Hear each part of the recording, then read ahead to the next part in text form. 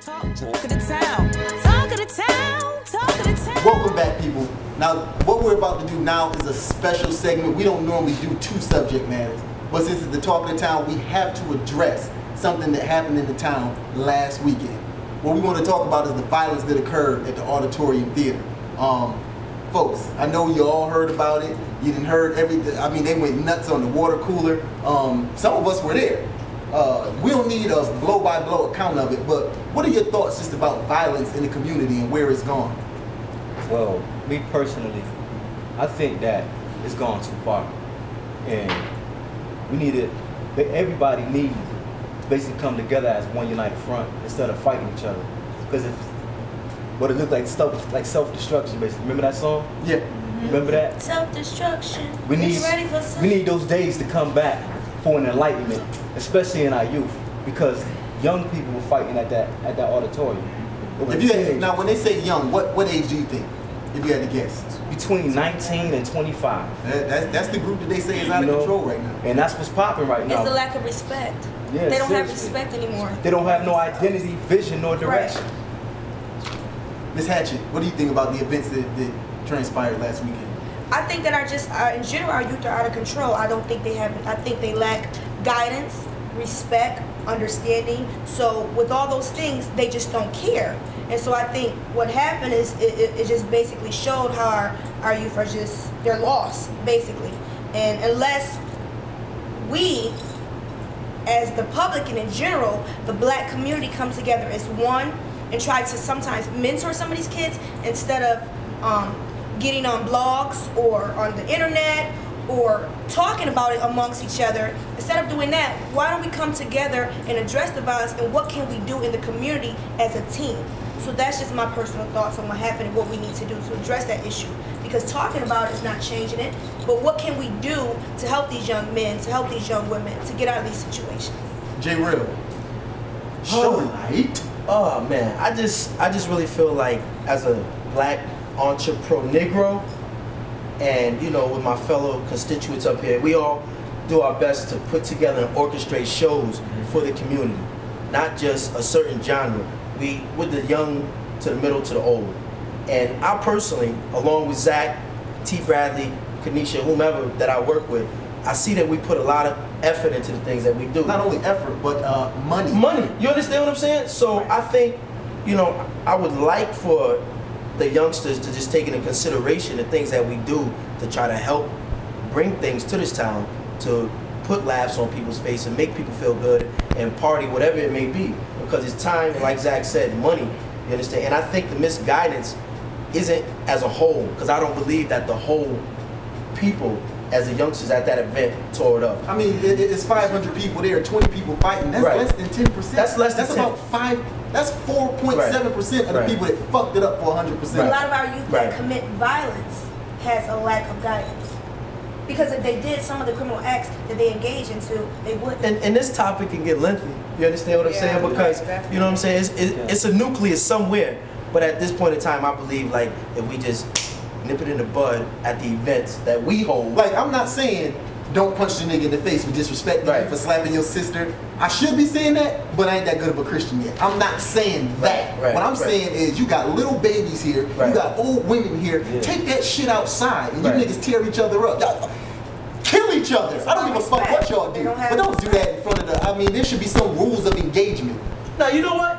It was the goddamn security that was working there that ran. The security I, ran. I heard the security ran. Well, the security is old as uh, men in the auditorium, ain't it? But The even red though jackets. security, I'm not gonna subject myself If to I'm getting certain type sixty of dollars a night, I'm not about to Shit, jump hell, these women kids and pulling stuff. out guns shooting people. You're right. I don't You know what? I don't fucking Twenty know. niggas fighting Just don't come to no new money entertainment show trying that bullshit. Because I'm not the Or Lady average comedian. I'm serious. I'm I got to jail. two strikes, Uh, bitch.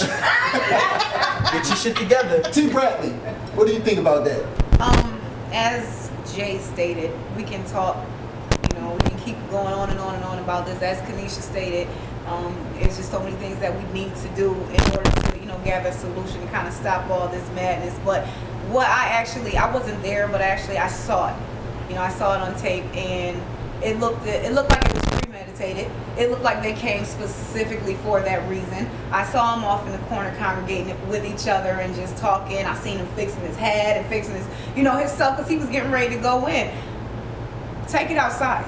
You know, go on Jefferson or Hudson or wherever it is you're from Oh, you and that. address that. Hey, whatever. I'm just giving it it the west side to the east side. Take Address care. that somewhere else, but don't put everybody else's life In in danger with the foolishness. When you, you know, if you had beef, you could address it somewhere else. Right. Respect, uh, respect. basically said everything I was gonna say. Like we, everybody, we all put hard work into our events and stuff like that. And like personally, I lost my brother to violence three years ago, so I take this shit serious, man. So when you come into something that somebody's putting their hard dedication, life into, man, and you want to act like fools, man. It's like we got like 15 parks in Rochester. Pulaski Park. Y'all can go get it in. A hundred on a hundred, nigga. Nobody break that shit up, nigga. Y'all can tear each other ass up. I'm not condoning violence. I'm just saying there's other ways to handle it. And as grown men, like that's come on, man. Like I don't. I can't even call y'all grown men because y'all putting uh, women and ch- kids in danger because y'all want to try to look good in front of y'all girls or something. Like, come on, man. That's that's whack. So- Whoever, just in general, for like the we, public. like we said, man, y'all come to any events that anybody that we mess with hold, man. Y'all better, yo, going down, man. Yeah. For real, man. Another thing too, like On an ending note. Yeah, because he tripping. I would like to say that um, if you come to a funny for money event, let's zoom in on me, please. Like about right here on up. If you come to a funny for money event, you pop that shit, I'm going to jail. Like I just said, I'm not that good of a Christian yet. And I'm usually at his events, and that's my buddy. Third strike. He ready. He want to go back to jail. I don't want to go back. Bitch. He dying to go He tired back. of He iron got, niggas' he got, drawers. he got, He tired of iron niggas' drawers. He ain't doing. he got homeboys that he misses. They used to use them for the Now, stoop to this is not an invite. This is not an invite to come to the show and act buck wild. Nah. Because a lot of people would take this As in a- another way. yeah. Be Like, oh, you think it's sweet? Yeah. I'm gonna come to your show and fuck it up. It's not an invite for that. It's not an invite for that, but like I said, We do 500 push-ups Just in before general, we go on stage, man. Not just his event, just in general. Yeah. Just as a as a whole, guys. Don't come to people's events or whatever they have Clubs, going on. all You know what the funny your thing about it is, this is Rochester, and it's not that big. You didn't see this motherfucker ten times Right. today. Right, You seen what him I at the saying. grocery That's store. what I was You seen him at McDonald's. You You, seen him planned when you was that. That cashing was your check at. Chester's. You seen him when y'all both was dropping your That's babies right. off at your baby mama house. Right, right, but right, now you want to fight Like, when like you get Jack out to the said, event. and like Funk said, people invest too much money into these Mm-hmm. shows. That's and a lot of those kids, they put a lot of hard work into their outfits and just to their whole little skits. And to destroy that, I don't think that was right. And even on another, a higher level, the people that were in the show spent a lot of money, but that violence has a trickling effect. For instance, now insurance premiums going up. Yeah. Right. Um, there's a list of shows that people in Rochester can't do. For instance, it's hard to find any place that will book a hip hop show. It's That's hard to right. find any place.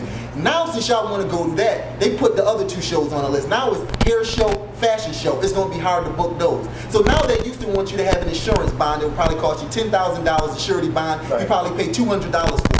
Now they want a million dollars in coverage, which you have to pay ten thousand dollars for. So who's gonna pay ten thousand dollars for an insurance bond to do an event? It's not even gonna be worth it at that point. So you keep doing this shit, we're not gonna have Nothing. nothing. You ain't gonna have no choice but ain't to gonna fight. have nowhere.